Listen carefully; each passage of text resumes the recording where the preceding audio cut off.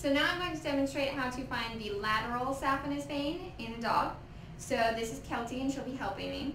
First you're going to say that you're doing the lateral saphenous vein. Then you're going to put the animal in lateral recumbency. Lateral just means the side of the dog, so her side is touching the table. So now I'm going to demonstrate what true lateral recumbency would be with the stuffed animal here.